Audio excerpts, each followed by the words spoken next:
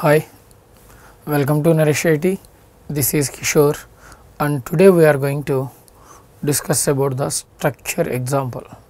In previous session, I have discussed what are the differences between C structure and C++ structure and later I have given C++ structure and C++ class differences. Okay.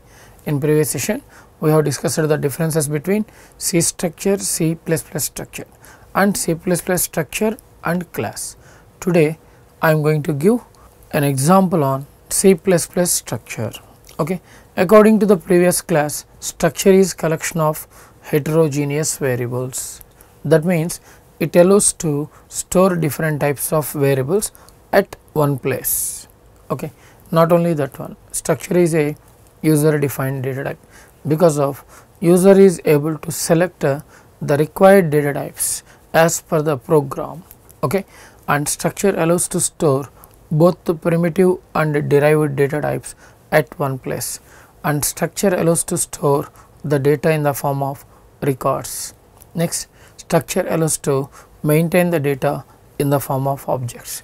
Nowadays everything is object oriented and to conduct the object oriented programming we are going to start the structures because of the total object oriented programming starts with the structure. That is why I am saying structures are the foundation for object oriented programming.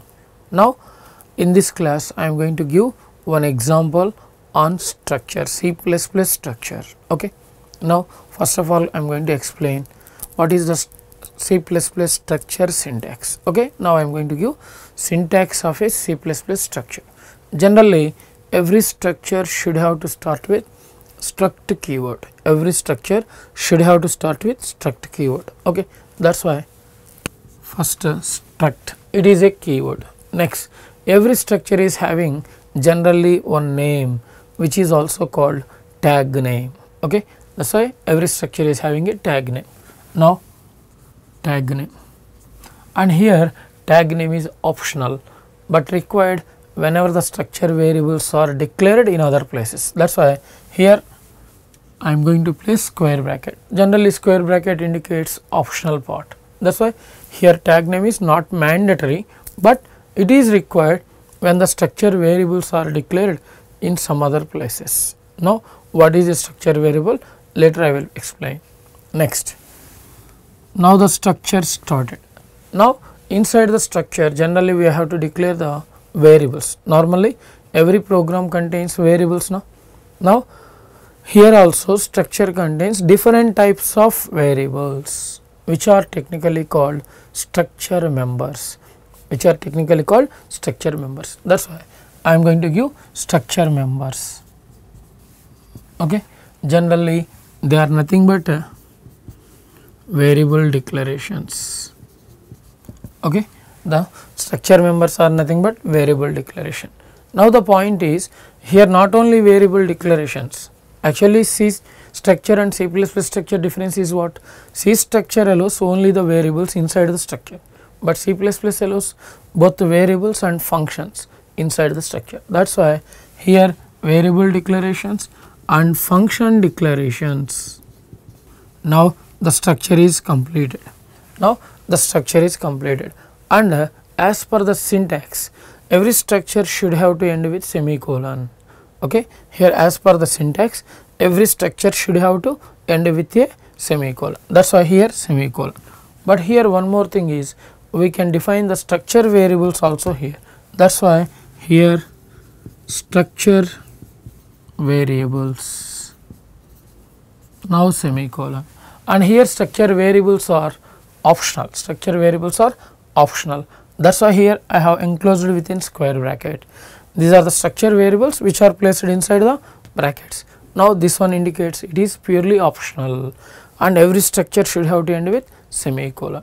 Now, it is the syntax of a structure. First struct keyword it should be in lowercase later tag name not man mandatory and the variables that are declared and functions which are declared inside the structure are called structure members. That is why here C++ plus structure is the combination of variables and functions. Okay. It is the major difference between C structure and C++ structure. Okay. C structure is collection of only variables, but here C++ structure is collection of variables and function. Now, based on this example, I am going to write a small example. Okay. It is a syntax now. Now, I am going to implement. Now, it is the example. Okay. Now, I am going to start a structure example. Generally, every C++ program starts with uh, two common header files in general. What there means iostream.h, conio.h. One is for cout and cin, one is for clear screen and get ch. Now, here also hash include iostream.h. It is the input and output operation. Next, conio.h for CLRSCR and get ch. Okay. Next, now I am going to start a structure here. First, struct keyword, struct, and I am going to declare a structure named student. That means I want to store the student structure data. I want to store student structure data. That is why the structure name is student. Next, here stu is called tag name. Next, every student generally contains id number and char name of 20. Now, here id and name are called structure members. Okay. Here they are called generally structure members which are also called data members okay, because of variables. Next C++ structure allows to define the function also na that is why here void get data. Now it is the function. Okay? Here void get data. Now i am going to define a function also inside the structure. Later here i am going to write like this. See out enter student id comma name. Next cin id name. Okay when this function is executed what happens cout which is equivalent to printf. It is going to print the text on the screen. Letter cin which is equivalent to scanf which reads the values at runtime. Now we have to enter one ID number, one name. Now they are going to store in ID and name. Next, here I want to print the data. Now cout ID equal to okay. Here ID I want to print endl. Endl gives what next line. Now first of all ID number is printed. Later cout name. I want to print the name also. Now name. Now brackets close. Here the function definition completed. Here function definition. But still structure is open. Now close this structure. Okay? And here there is a rule. Everybody knows. Every structure should have to end with semicolon. That is why here semicolon. And one more thing I said. Here before closing the structure we can declare the structure variable also here. Now for example s. Here s is called structure variable. Here s is called structure variable and it is the copy or instance of this structure. Okay? Actually it is the blueprint means original copy and from this blueprint we are going to create the instance means copy. Now Copies are generally having what? Same structure members or same members. That is why now S also having same members. Means what? S is also having ID and name. Now the memory is created for S like this. Okay. Suppose it is the stack. And now first one is ID, ID which type? Integer. That is why here ID and integer require 2 bytes. Next name 20 bytes. Now it is the name and it require 20 bytes. That's why total structure size is 22 bytes. And this memory is allocated for s. That's why here one important point we have to discuss. When the structure variable is declared s is the structure variable means instance when the structure variable is declared then only memory also allocated for structure members okay when the structure variable is declared then only memory allocated for structure members. That is why here one important rule is without structure variable, without structure variable there is no memory. That is why without structure variable we can't access the structure members, we can't access the structure members. That is why if there is a structure there should be a structure variable also. Next, now the memory also created. Now I want to access this memory. For that which function I have used get data. Now I have to call this get data function. From where we have to call this get data function means main function. That is why here I am going to start main function. Now main function started. Already structure variable is ready now. That is why directly we can access the member function get data. Directly CLR is here screen cleared and S dot get data. Because of now the get data is a, not a normal function. Now it is the member of this structure. And to access any member within the structure you should have to use dot member access operator field access operator membership operator member of operator belongs to operator like that.